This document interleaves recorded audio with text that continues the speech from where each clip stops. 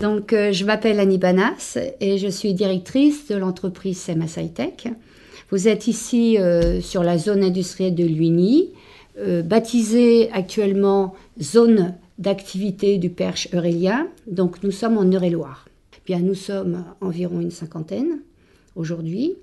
Et donc, euh, petit à petit, euh, les locaux se sont agrandis, euh, les, moyens financiers ont augmenté, et donc d'un capital de 35 000 euros, mais nous sommes passés à 3,5 millions. Mon parcours professionnel a un impact sur l'histoire de l'établissement puisque 1994, c'est l'année où j'ai été licenciée économique, et convaincue de mon savoir-faire et de mes possibilités de développement, mon mari m'a poussé à oser et euh, créer ma propre société. CMS High-Tech signifie chimie, machine, service high-tech, c'est-à-dire tous les services proposés à l'industrie.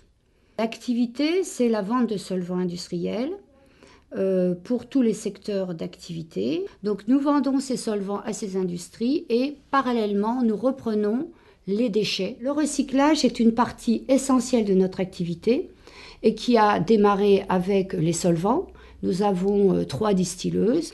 Ensuite, nous sommes allés vers la reprise de déchets, de culots distillation, de produits divers, jusqu'aux aérosols. Alors, ce qui est important sur un site euh, de produits chimiques et qui euh, stocke aussi des déchets industriels spéciaux, c'est la sécurité. Tous les fûts, tous les containers sont identifiés par un numéro et enregistrés sur informatique. Il n'est pas question d'avoir 5 kg de produits non identifiés et non répertoriés. CMS Hightech a construit récemment un nouveau bâtiment qui a une particularité, c'est la création de mousse pour euh, éventuellement intervenir en cas d'incendie. En 4 euh, secondes, un détecteur peut euh, localiser une, flamme et 8 secondes après, des systèmes de mousse automatiquement envahissent le local. Les projets d'avenir sont clairs. C'est pour être sur un marché dans 10 ans encore et dans 20 ans, il faut innover. On a le projet de recycler de l'eau.